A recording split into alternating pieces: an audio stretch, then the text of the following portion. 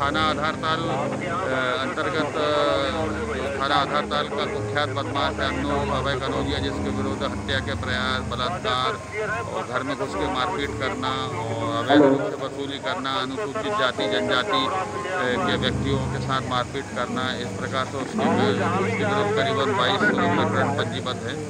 थाना आधारताल में, थाना माड़ोताल में और थाना ओमती में, थाना गढ़ा में। उसके द्वारा जो है शासकीय भूमि पर अवैध रूप से कब्जा कर कर भवन निर्माण किया गया था। करीबन तैंतीस सौ वर्ग फुट की शासकीय भूमि उसके द्वारा कब्जा करके भवन निर्मित किया गया था।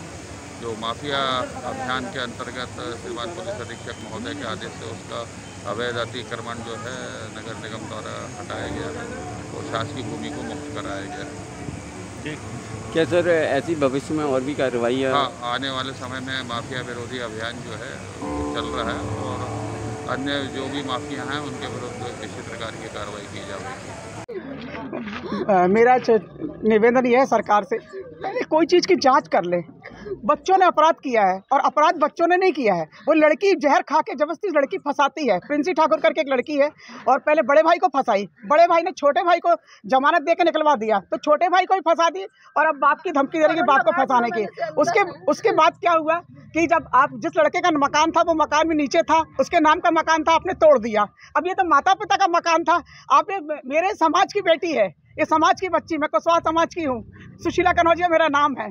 और ऐसे अत्याचार कर रहे हैं समाज वालों के ऊपर आरोप लगा रहे हैं और मकान तोड़ रहे हैं। और रात में मकान रात में क्या उत्तेज है? ना नोटिस दिखा रहे ना कुछ दिखा रहे ना कोई ऑर्डर दिखा रहे। ये कौन सा अंधा कानून हो गया है कि लड़के अपराध करें माँ बाप का मकान तोड़ दे? ये कौन सा अपराध है? मुझे ये समझ में नहीं आ रहा है। और हाथ जोड़ रही बेचारी पैर पड़ रही मार रो रही गड़गड़ा रही इसके बाद भी पूरा मकान तोड़ दिया लाइट बंद करके चलेगा अभी ये बहू बेटी सब लोग कहाँ रहेंगे बताइए आप। ऐसा अपराध क्यों कर रहे हैं? और छह बजे तक रात में क्यों तोड़ रहे मकान? दिन में आके कार्रवाई करते ना। अंधा कानून मतलब अंधा कानून हो गया क्या? कोई नियम नहीं कोई धर्म नहीं। और जो लड़के हकीकत बलात्कार करके घूमते हैं उनका मकान नहीं तोड़ा जाता है। ये हमारे मुख्यमंत्री जी मामा जी का क्या कहना है? बेटी बचाओ बेटी पढ़ाओ ये देख लीजिए आप। अब कहाँ जाएँगे बताइए? हम लोग समाज के लोग हैं समाज का भला चाहते हैं कि ऐसे अपराध ना हो। मैं समाज के अध्यक्ष सुशीला कनौजिया और मैं चाहती हूँ कि इसके साथ न्याय मिले और जितने भी लोग हैं इसको पढ़े और देखे और सुने और सब लोग आगे आए इस बच्ची के मकान को बचाने के लिए।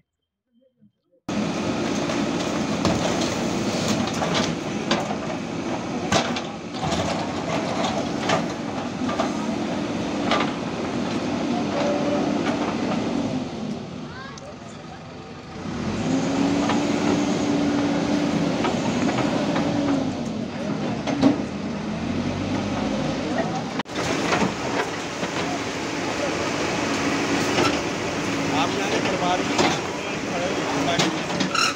बाइट देना पड़ेगा आपको।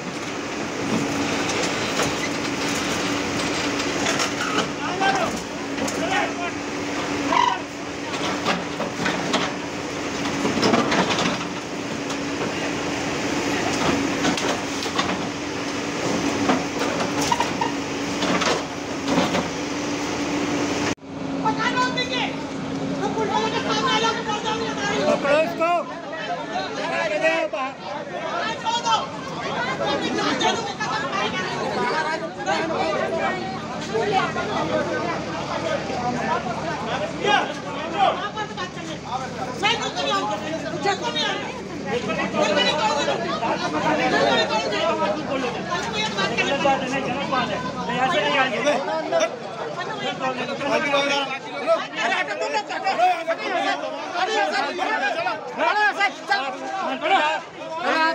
छोड़ देना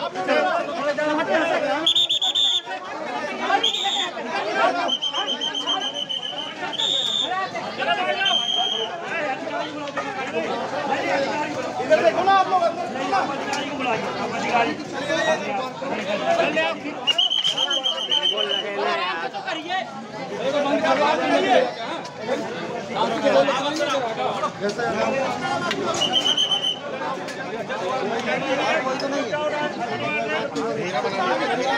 घेरा बना घेरा बना लीजिए। घेरा बना लीजिए। घेरा बना लीजिए थोड़ी और पीछे से घेरा बनाइए जल्दी जल्दी।